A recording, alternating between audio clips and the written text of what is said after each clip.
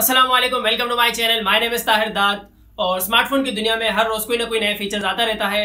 आ, लेकिन बहुत ही कम होता है कि जब कोई कंपनी एक ग्राउंड ब्रेकिंग फीचर को इंट्रोड्यूस कराती है। और इस दफ़ा ये काम किया है शाओमी ने। मैं बात कर रहा हूँ under display selfie camera sensor की। अंडर डिस्प्ले कैमरा टेक्नोलॉजी के ऊपर सैमसंग ओप्पो शाओमी ये सब काम कर रहे थे।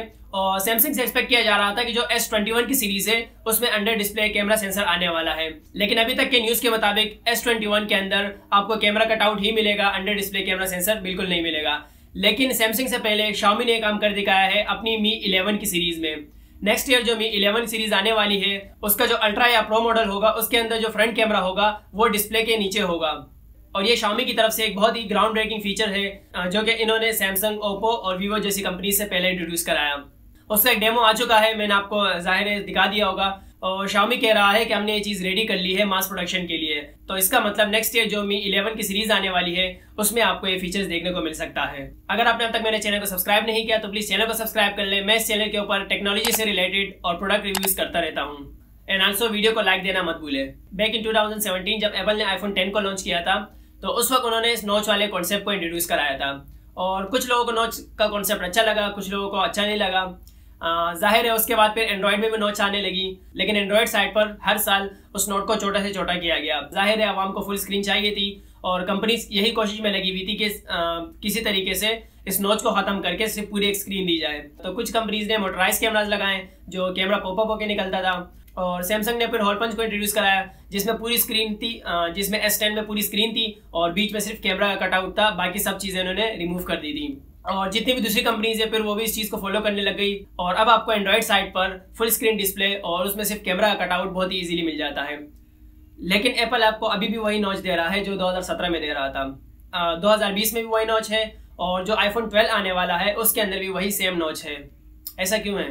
खैर मैं इस चीज़ के ऊपर एक वीडियो बनाने वाला हूँ।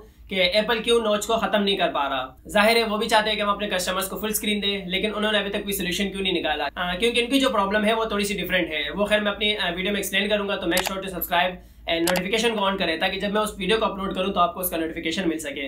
ये जो शामी का अंडर डिस्प्ले कैमरा है ये थर्ड जनरेशन है। इसका फ़र्स्ट जनरेशन हमने पीछे 2019 में देख लिया था जब शामी ने पहली दफ़ा अनाउंस किया था कि हम अंडर डिस्प्ले कैमरा पे काम कर रहे हैं। उस वक्त ओप्पो ने भी शायद एक प्रोटोटाइप की वीडियो डाली थी और शामी ने भी डाली थी। शामी वाली वीडियो में आप देख सकते हैं कि अंडर डिस्प्ले कैमरा बिल्कुल सही से काम कर रहा था। आ, लेकिन प्रॉब्लम ये थी कि इसकी जो इमेज क्वालिटी थी आ, वो बिल्कुल अच्छी नहीं आ रही थी। ज़ाहिर है एक डिस्प्ले है उसके पीछे से कैमरा लगा हुआ है तो बीच में कुछ ना कुछ लेयर्स है तो उसकी वजह से उसकी इमेज की क्वालिटी अच्छी नहीं आ रही थी। लेकिन जो अब शामी ने डेमो दिया है ये थर्ड जनरेशन है और ये उससे काफ़ी बेटर है। इसकी जो इमेज क्वालिटी है वो बिल्कुल आपको नॉर्मल ऐसे दिखती है जैसे नॉर्मल सेल्फी कैमरे से ही ली गई हो। और ये पॉसिबल है ऑलेट टेक्नोलॉजी की वजह से। और ये अंडर डिस्प्ले कैमरा सेंसर काम कैसे करता है? खैर ये एक अलग स्टोरी है। आ, लेकिन मैं आपको थोड़ा सा आइडिया दे देता हूँ। पहली बात तो ये कि ऑलेट टेक्नोलॉजी जो ऑलेट डिस्प्लेज होते हैं उसी के ऊपर चल सकता है एलसीडी पे नहीं चल सकता। क्योंकि जो ऑलेट डिस्प्लेज होते हैं उसके अंदर हर पिक्सल की अपनी अपनी अलग लाइट्स होती हैं। और ये कहते हैं कि जो जहाँ पर कैमरा लगा हुआ है उस वाली जो एलसीडी का जो पार्ट है जब कैमरा ऑन होता है तो उस पार्ट का जो पूरा हिस्सा है वो ट्रांसपेरेंट हो जाता है। मतलब उसकी जो ट्रांसपेरेंसी है वो बिल्कुल कम कर दी जाती है जिसकी वजह से पीछे से कैमरा मशीन लर्निंग और जो भी इनकी टेक्नोलॉजी होती है उसके ज़रिए से पिक्चर ले सकता है। खैर इस बारे में भी किसी ने वीडियो बनाएँगे ये किस तरह से प्रॉपरली काम कर रहा है। ज़ाहिर है ज़ाहिर है अभी अभी ज़ाहिर है अभी न्यू न्यू चीज़ है तो इतनी इन्फॉर्मेशन तो खैर इस वाले से अभी है नहीं। लेकिन द पॉइंट इज़ के अंडर डिस्प्ले टेक्नोलॉजी पॉसिबल हो चुकी है और नेक्स्ट ईयर हमें शामी की तरफ़ से मिल जाएगी। uh, आपके क्या ख्याल हैं इस अंडर डिस्प्ले कैमरा के बारे में? और शामी के बाद कौन सी वो कंपनी होगी जो सबसे पहले इस चीज़ को इंट्रोड्यूस कराएगी? सैमसंग वीवो या ओप्पो या कोई भी कंपनी तो उस बारे में मुझे कॉमेंट सेक्शन में ज़रूर बताएँ।